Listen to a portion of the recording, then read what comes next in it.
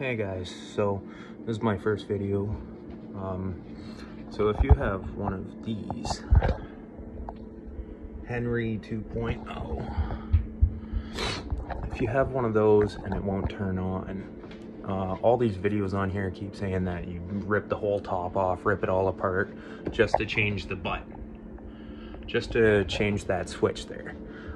And this is the way you don't have to do it. You don't have to replace the button. All you do is take this, pop this part out, see these little contacts in here? You take those out, the contacts in there, you take those out, clean those up, put it back together, and it should work without having to replace anything. Have a good day.